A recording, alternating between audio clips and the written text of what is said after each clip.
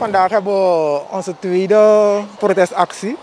Naar aanleiding van uh, de mishandeling vorige week dinsdag bij het parlement.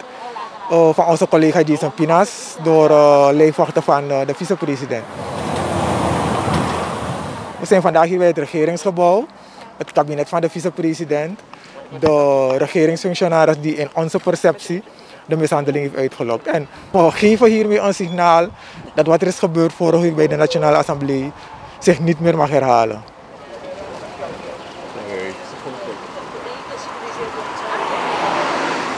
Er zijn nu vier trekkers aangewezen, nieuwe trekkers. Ja, en de reden daartoe is dat we zeggen, luister, SVJ ondersteunt deze actie. Want je weet, het zijn niet alleen maar leden van SVJ die meedoen, ook het mediaveld. Ook mensen die verbonden zijn aan andere mediahuizen en geen lid zijn van de SVJ.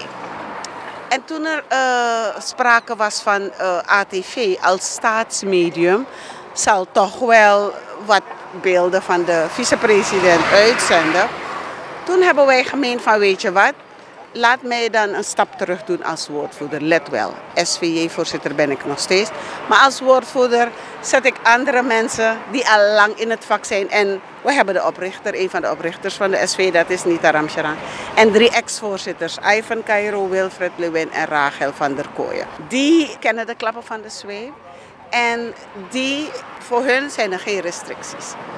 Maar voor de rest, want ik zeg voor wat uh, de rest van de actie betreft, ATV is er helemaal. We doen mee zoals we staan hier vandaag.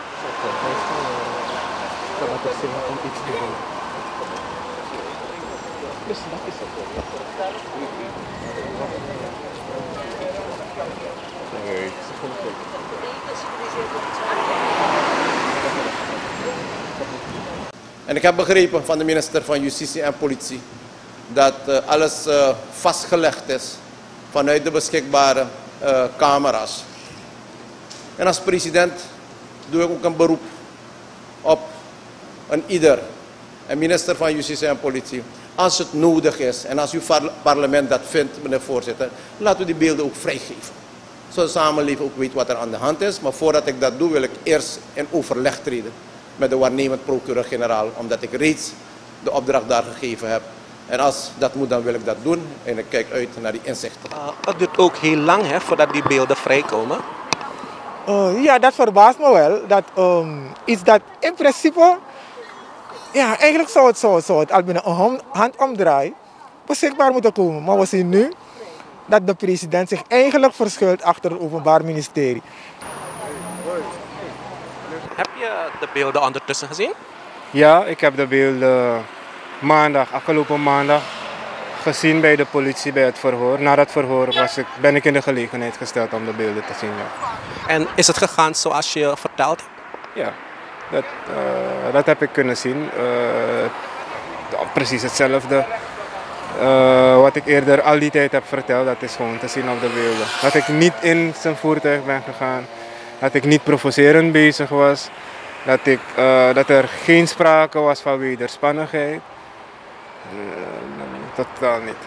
En dat ze je op de grond hebben gegooid en mishandeld? Yes, dat is ook te zien. Ja. Hey, de VP heeft ondertussen zijn verontschuldigingen aangeboden.